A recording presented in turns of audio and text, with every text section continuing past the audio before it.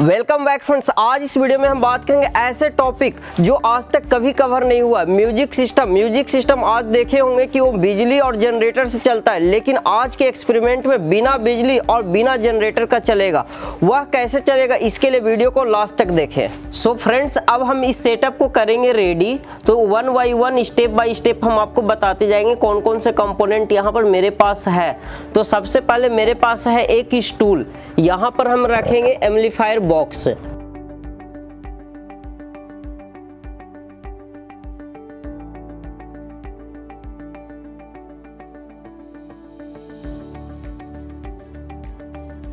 अब मेरे पास है एम्लीफायर मशीन जो हाई कैपेसिटी का है, जो डीजे सिस्टम में यूज़ किया जाता है। इसको हम करेंगे प्रॉपर सेटअप तो इसको सबसे पहले हम स्टूल के ऊपर रखते हैं।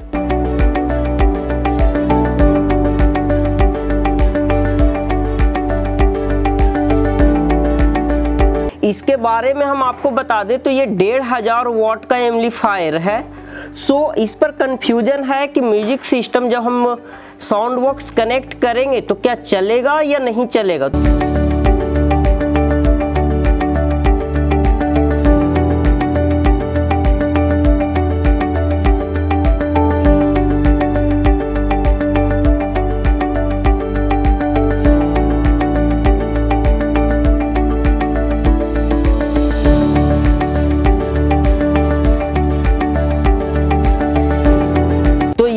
पास स्पीकर जो ये भी काफ़ी हैवी कैपेसिटी का साउंड बॉक्स है, काफ़ी इसका साउंड है।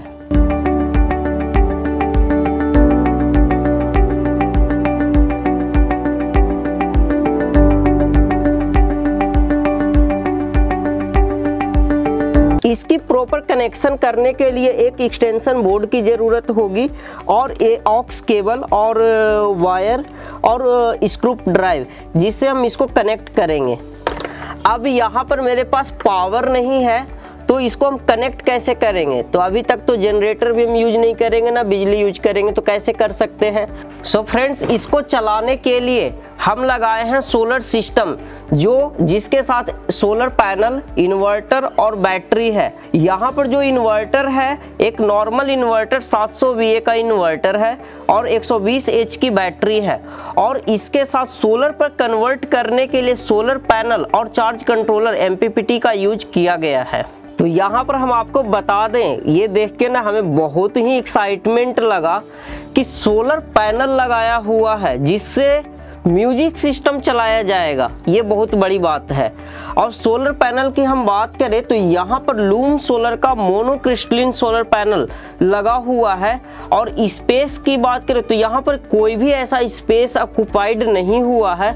ये एक पानी के टंकी जहाँ पर रखा हुआ है, उस एरिया पर ये जगह पर ये इंस्टॉल किया हुआ है। वो भी दीवार के ऊपर कि आप देख रहे हो कि दीवार पर ये लगा हुआ है। नीचे की एरिया भी कोई ऑक्युपाइड नहीं है और यहाँ पर सोलर पैनल भी लगा हुआ है। और यहाँ पर सोलर पैनल की कैपेसिटी की बात करें तो लगभग 700 से 800 वाट के बीच में है सोलर पैनल लगा हुआ, जो म्यूज़िक सिस्टम के साथ साथ घर के सभी उपकरण चलाए जाते हैं। जैसे कि लाइट पंखा टीवी वॉशिंग मशीन फ्रिज इन सभी सभी का भी यूज़ किया जाता है। सो फ्रेंड्स सोलर पैनल की जानकारी के लिए हम आपको बता दें, हर जगह का सोलर पैनल का वोल्टेज और एम्पियर चेंज होते रहता है। तो यहाँ पर हम आपको बता दें, ये बिहार है। बिहार के पास में राजगीर है। वहाँ पर ये सोलर सिस्टम इंस्टॉल किया हुआ है। तो यहाँ पर हम चेक करते हैं कि नवंबर के महीने में ये सोलर पैनल कितना पावर जनरेट करता है। तो यहाँ पर सबसे पहले हम वोल्टेज चेक करते हैं। वोल्टेज चेक करने के लिए इसको जैसे कि आपको आपको पता है कि क्लैंप मीटर की ज़रूरत पड़ती है। तो मेरे पास एक क्लैंप मीटर है जिससे हम इस सोलर पैनल की वोल्टेज को चेक करेंगे।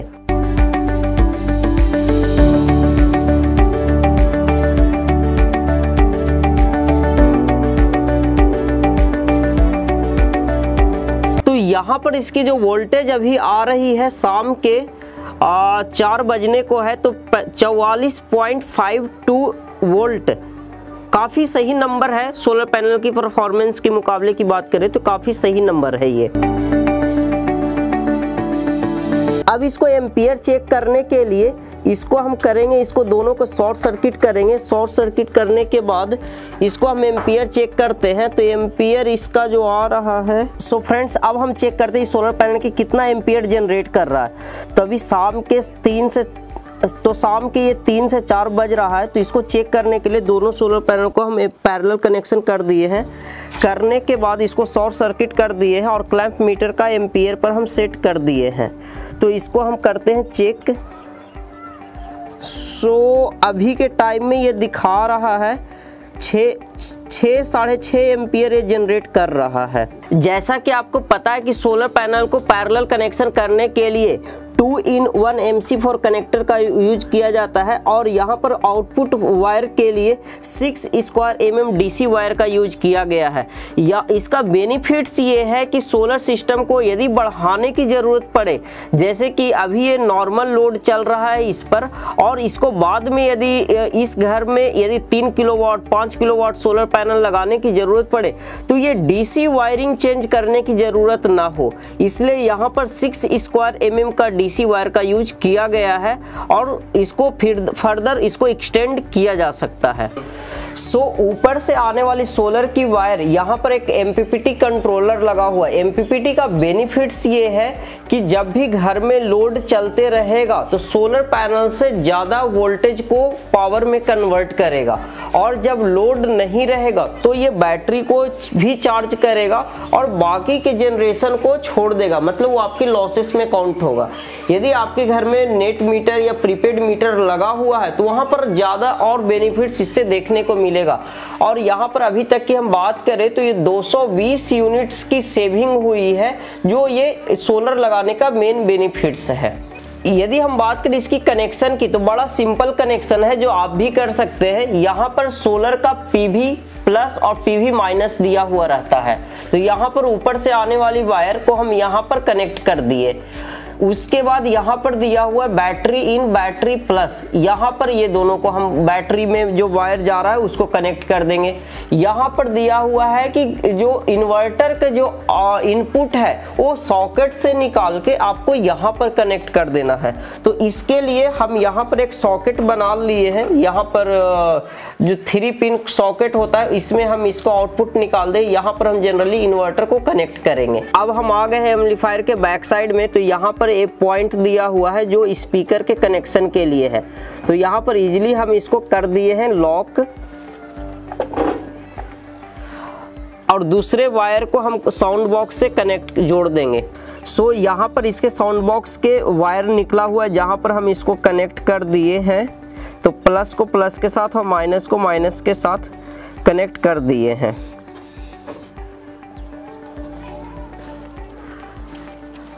इसको प्ले करने के लिए ऑक्स केबल है, जो ऑक्स केबल को इसके लाइन के इन में हम लगा देंगे। तो लाइन के इन में हम लगा दिए हैं। अब चेक करते हैं कि ये चल पाता है या नहीं। तो इसको हम मोबाइल का आउटपुट मोबाइल से इनपुट के लिए ये केबल ऑक्स केबल है। यहाँ पर मेरा पूरा कनेक्शन रेडी हो चुका है। अब हम करेंगे इन्वर्टर को स्टार्ट इन्वर्टर मेरा हो गया है स्टार्ट यहाँ पर आपको इंडिकेशन दिख गया होगा। अब यहाँ पर इसके इनपुट में, यहाँ पर इंडिकेटर लगा हुआ है। इंडिकेटर में भी दिख रहा है कि यहाँ पर लाइट आ चुका है। अब हम मशीन को करेंगे स्टार्ट मशीन भी स्टार्ट हो चुका है। और इसको कनेक्ट करके चेक करते हैं। तो यहाँ पर भी कनेक्शन हो चुका है। अब मोबाइल से हम इसको स्टार्ट करते हैं।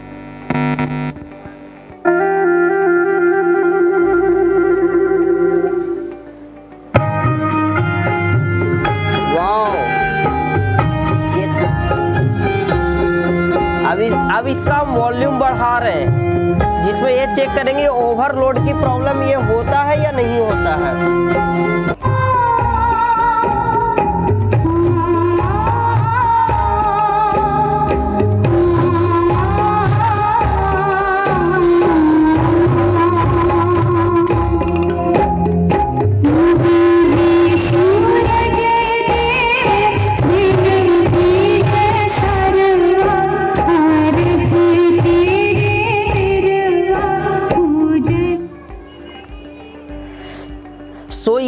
काफ़ी हैवी साउंड पर अभी हम चलाए थे। आ, जो काफ़ी तेज़ आवाज़ है जो नॉर्मल कहीं पर भी बजा सकते हैं।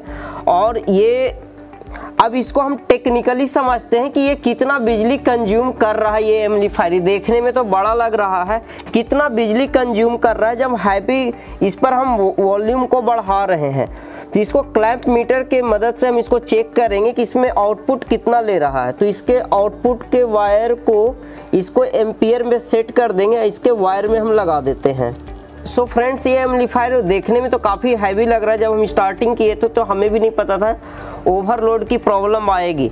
तो यहाँ पर हम एक क्लैप मीटर रखे हुए हैं, जिसे ये चेक करेंगे कि वॉल्यूम बढ़ाने पर कितना तेज कितना पावर कंज्यूम करता है। तो यहाँ पर आप स्क्रीन पर ध्यान रखिएगा कि ये बढ़ेगा।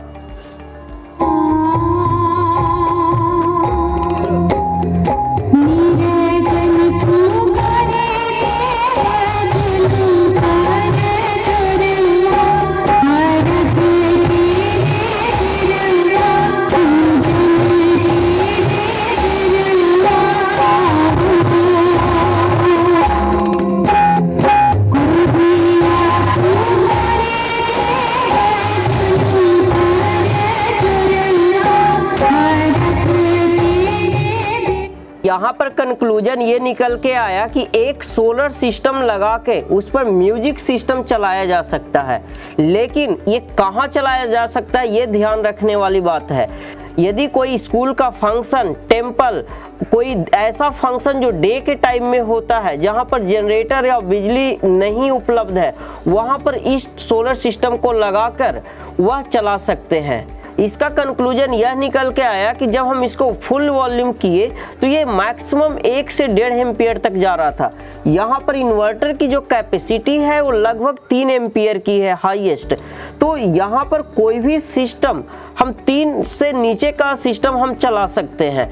यदि वो कोई चाह रहे हैं कि हमारे पास हैवी कैपेसिटी का है तो कितने किलोवाट का सिस्टम लगेगा? तो उनको कम से कम पाँच तीन किलोवाट और पाँच किलोवाट का इन्वर्टर लगा के एक जनरेटर खरीदने की टेंशन से मुक्त हो सकते हैं। तो फ्रेंड्स, यह वीडियो आपको कैसा लगा? वीडियो के कमेंट सेक्शन में हमें बताएँ। यदि यह वीडियो आपके काम का नहीं है तो उन सभी इलेक्ट्रीशियन और म्यूज़िक सिस्टम जो चला रहे हैं, जो डीजे का काम करते हैं, उनके साथ शेयर करें। मे भी उनको ये वीडियो पसंद आए। यदि आपके पास इससे बड़ा डीजे सिस्टम है, जिसको आप चलाना चाहते हैं और इसकी प्रॉपर इंस्टॉलेशन और कंप्लीट कंपोनेंट्स के बारे में जानना चाहते हैं तो हमारे वेबसाइट डब्ल्यू और हमारे नज़दीकी डीलर डिस्ट्रीब्यूटर से आप संपर्क कर सकते हैं। तो मिलते हैं अगले वीडियो में। Thank you so much